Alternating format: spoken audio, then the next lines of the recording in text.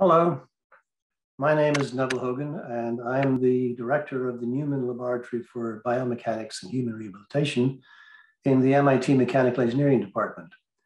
And I'd like to tell you today about some work we've been doing on trying to uh, perform some uh, surprisingly difficult measurements of human balance uh, performance.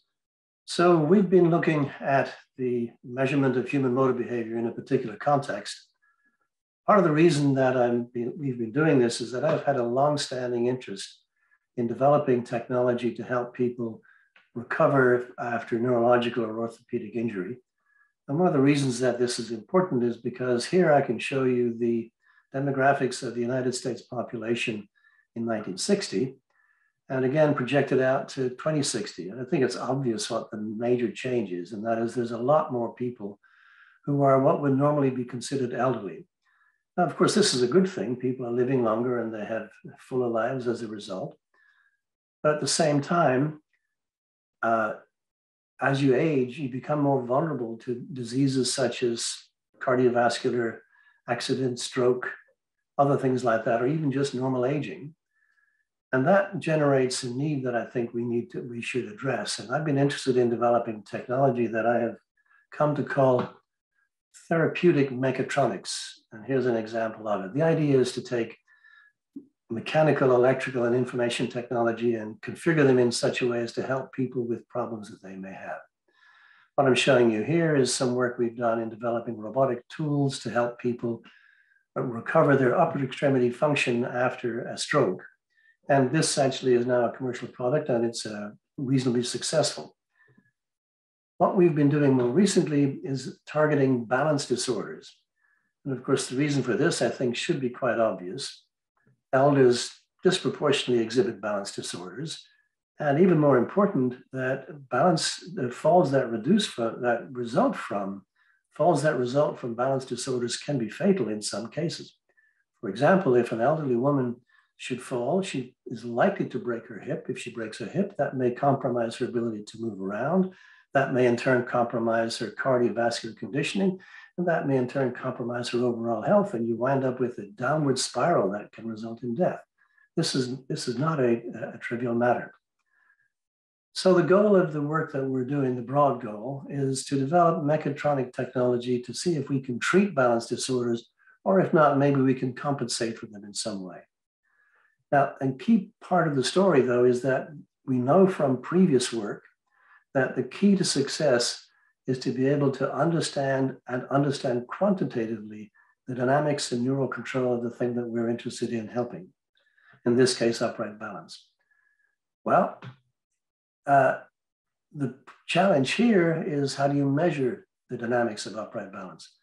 Now, I'm sure we're all familiar with the fact that if we think at the quantum level, that uh, measurement fundamentally disrupts the thing that you're measuring. And that's I believe, well established. However, we have the same problem when we look at measurements at the mesoscale level of centimeters to meters. That is, when you measure what's going on with a human, you're very likely to perturb it. The, uh, the key problem is that uh, humans are supremely adaptive. Now, the conventional approach to identifying a dynamic system is to apply perturbations, observe the consequences, and then use some of the many uh, mathematical tools that are available to figure out the details of the operation between the applied input perturbations and the observed outputs. The problem is that because of the supreme adaptability of humans, as you perturb them, you're going to change their balance strategy. And it's actually fairly obvious if you think about it. If you walk up to a quietly standing uh, human standing upright, and you perturb them, they're likely to assume a slightly crouched posture. Well, that's a different balance strategy. That's not the one that we want to measure. So the question then is, is it possible to identify unperturbed balance dynamics in human subjects? And here I think that the answer is, will lie in the fact, uh, uh another key observation about humans, and that is human, the human neuromotor system is fundamentally noisy. That is, we can't actually stand still. When you're standing upright, the center of pressure between your feet and the ground is actually meandering around, meandering around as though it was uh, going through a random process. The process might not actually be random. It may result from chaotic nonlinear dynamics, but it doesn't matter. It looks like it's a random process. So can we capitalize on that neuromotor noise to help identify the dynamic system? And uh, the answer is yes. So the way we go about this is that we assume a model of what we know reasonably well. And in this case, that's the gravito-inertial dynamics of upright posture.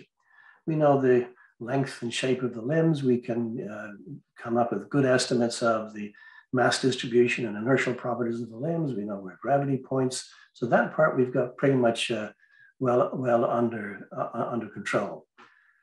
What we then use is the intrinsic data variation to identify or infer the controller parameters. And we've shown, at least in simulation, that this can work very well. Of course, there's a snag, and that is it depends upon the structure of the model that we use. But as I'll show you, it turns out we can address that problem based on analysis. So let me show you what we've done. This here is an example of some recent work published by a colleague at the University of Wisconsin, Kreg Gruben and his colleagues. So the, uh, the thing is that postural stability implies that there's got to be a correlated variation of the origin of the ground force vector and the orientation of the ground force vector. And that's depicted here in, the, in, in this panel. So if you take two adjacent time slices of the observed force vector, they will in general intersect at a point which is called the intersection point. Turns out that if you analyze the variation of that intersection point in the frequency domain, you get this very interesting pattern. So at very low frequencies, you find that the intersection point lies above the center of mass. And to some extent, that makes good mechanical sense. If you can imagine the intersection point above the center of mass, that's equivalent to suspending the body from that intersection point. And of course, that will then be intrinsically stable.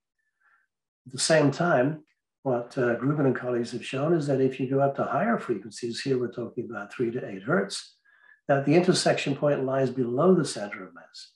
And that's consistent with correlating forces and moments about the joints to compensate for at least a second order mode of behavior. So we set out to see if we could, in fact, first of all, describe this behavior, and secondly, use it to identify something about the neural control strategy that results in this behavior. And so the first thing is that we can establish the minimal model order just by looking at the data. It's very common in studies of uh, uh, human upright balance to assume that the body can be described as a single degree of freedom inverted pendulum, and that's not unreasonable. However, it cannot describe the intersection point below the center of mass at high frequencies, which we find in these data. And that's something that we've shown. Turns out that the simplest model that's competent to describe this behavior has to have two degrees of freedom, a two degree of freedom inverted pendulum with this, uh, the first link representing the legs between the ankle and the hip, and the second link representing the body above the hip. Uh, if we do that, we can then use that as a model to describe the data and extract from the data the parameters of, of a controller. Turns out that a minimum effort control model is remarkably competent. So here I'm showing you, these are the human data that I showed you a couple of slides ago. Here's the data from simulations that we have developed, and they're very similar. And in fact, here over on the right, I'm showing you the, the superimposition of the human and simulation data right on top of each other. And to, not to, but to find a point in it, we nailed it.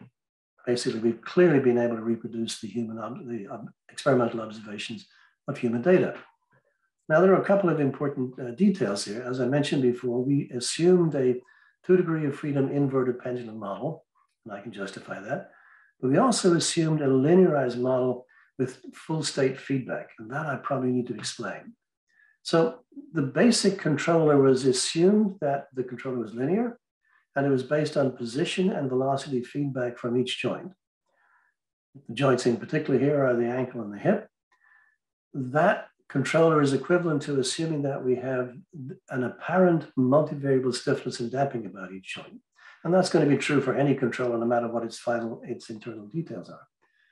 We also added motor noise to each of these degrees of freedom because we need the noise to reproduce the stochasticity of the behavior.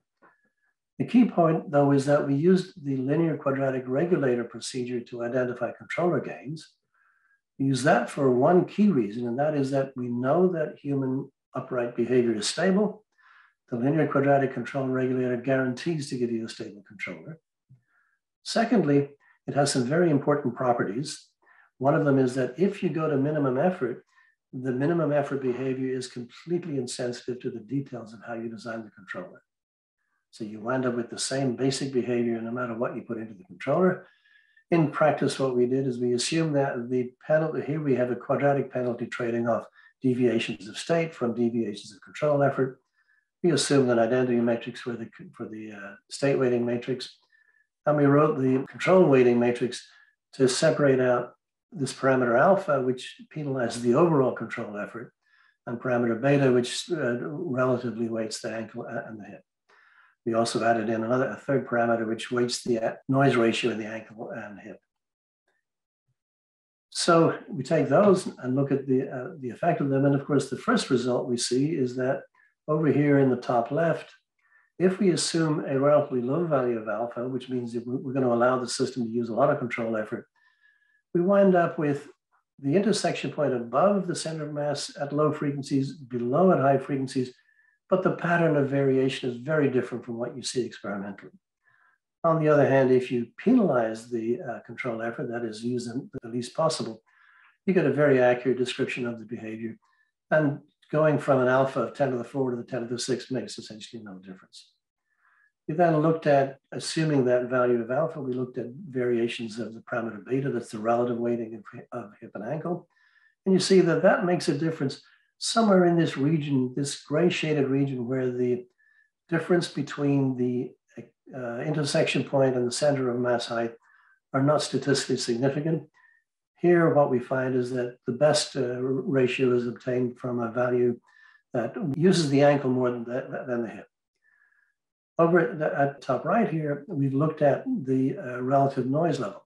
Now, there's an important detail here, and that is because of the extremely long time delays in the human neuromotor control system, they can be 100 milliseconds or maybe up to 300, depending on whose papers you read. That th th this is clearly not being achieved by real-time feedback control. The, the, the, delays are too great. However, the intrinsic properties of the muscles can operate essentially instantaneously. So here, what we've been able to show is that if we use the noise per parameter, which is the a parameter of the muscle itself, and we adjust it, we can get a good fit at the high frequencies. So the basic story here is that the general trend of how the intersection point varies with frequency appears to reflect just biomechanics. However, the specific details of how the intersection point varies with frequency clearly reflect neural control uh, priorities. And the important thing here is that minimal control effort yields yields the best fit. So I think we can learn quite a lot about human motor control just from um, observations of humans standing quietly. And this might have a potential clinical uh, uh, application. For example, the instrumentation to get these data is quite simple. It can be made relatively cheap. And it might be the something that could be used in a doctor's office or a therapy clinic. And uh, let me stop at that point and um, thank my sponsors. Many of them have supported this in other work. And uh, thank you for your attention.